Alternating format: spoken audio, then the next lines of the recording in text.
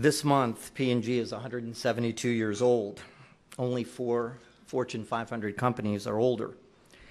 We've navigated a couple world wars, numerous regional and local wars, the Great Depression, periodic panics and recessions, earthquakes, hurricanes, tornadoes, and the list goes on.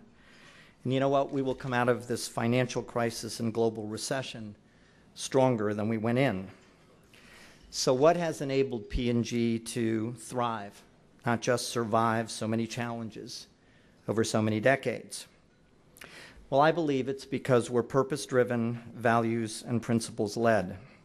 Our purpose is to touch consumers and improve their everyday lives. Right now, we're serving about 3.8 billion. We're committed to serve 5 billion by 2015. Our values integrity and trust, leadership and ownership. Our principles guide us to do the right thing for the greater good and the longer term health of the business and the institution. Now, we believe business in general and P&G in particular touch and improve more lives every day in our increasingly interconnected and global economy. When we're at our best, business, including P&G, are a consistent force for economic growth and a passionate force for a better society. We believe it's not just enough to grow sales and profits. We have a responsibility to the communities in which we live and work. We know we must grow but grow sustainably and responsibly. We use, we use our resources, our money and our people, our capabilities and our energies for the long-term benefit of society. At P&G, we innovate to attract and delight consumers. We grow by continuing to innovate and serving more consumers more completely. Innovation is our lifeblood. Virtually every single one of P&G's leading billion-dollar brands began with a revolutionary new product technology. Brands like Tide and Crest and Pampers. All of P&G's organic sales growth this decade and most of our profit growth was driven by innovative new brands and products. P&G's leading brands make up 85% of total company sales and over 90% of profits. More importantly, each of these brands improves a lot of lives. Every day, 30 million loads of laundry are done in Tide. Every day, 35 million babies are diapered with Pampers. Every day, 100 million people care for their teeth and gums with Crest. Every day, 700 million shave with Gillette. Innovative companies improve more lives. Innovative companies are catalysts for economic growth, and economic growth is the primary responsibility of business. Big global innovation companies are engines of growth for our nation and for our, our world.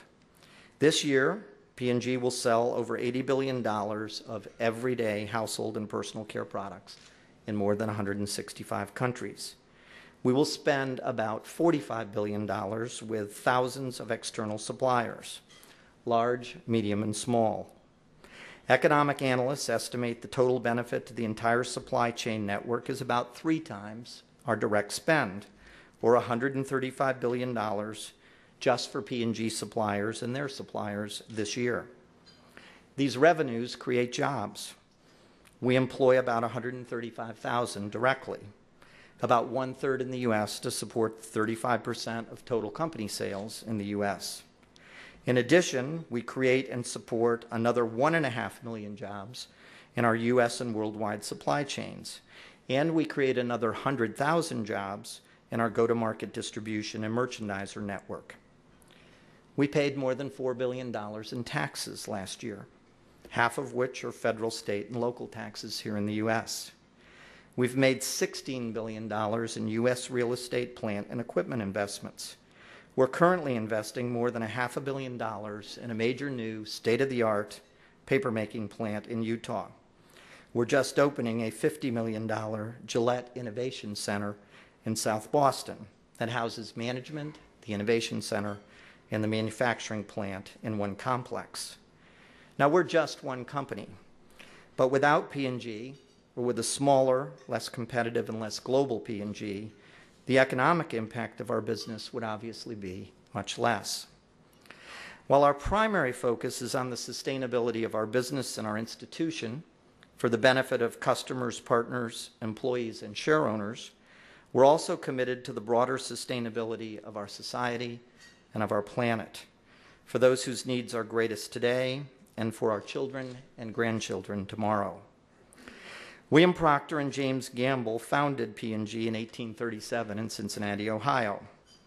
Today, after decades of mismanagement and neglect, we are bringing the center city back to life. We've forged a public private partnership with the city to redevelop Cincinnati's core. Several leading companies have joined forces to create an equity fund to provide patient capital for long term economic and social development. I chair the Cincinnati Center City Development Corporation, a private nonprofit whose management put together the strategy and now coordinates the plans for revitalizing the city, from the banks of the Ohio River through Fountain Square to over the Rhine, our most historic but troubled inner city neighborhood. Over the past four years, we've invested about $200 million. We've only just begun, as you can see from these before and after pictures, but we are having a dramatic effect. And people from all walks of life are now coming together in the center of our city. The simple fact is that these transformations would not happen without the involvement of business and without the initiative and leadership of companies like ours. We're taking similar initiatives in other P&G headquarters communities across the United States and around the world. William Cooper Procter, the grandson of one of the founders, helped establish the United Way in the Midwest and led the Greater Cincinnati Regional Campaign for three years consecutively during World War I. P&Gers serve on the International Board and P&G organizations are active, advocating, contributing, and volunteering around the world. This year, I'm also chairing United Way for the region. It's a tough year. The recession has more than doubled the number of unemployed in our region, and business, the backbone of our campaign historically, is struggling. But we're not discouraged. We're innovating to tell our story of fellow citizens and neighbors in need. We're committed to broadening the donor base. We're going after 10,000 new givers, a 10% increase, and we're going to get there. We're asking leaders to do more. We're going for 1,000 new leadership gifts at 2,500 and up, and we're going to get there. And 150 new Tocqueville givers at 10,000 and up. A few individuals have stepped forward with million dollar gifts. About a dozen more have put together a million dollar challenge to get us to $62 million, our goal, which will make us again this year number four in per capita giving and number eight in total campaign giving in the U.S., well ahead of much larger cities like Atlanta, Chicago, Houston, and LA. Again, businesses like P&G, GE, Macy's, Toyota, Fifth Third, Kroger, and others stepped up and made this happen.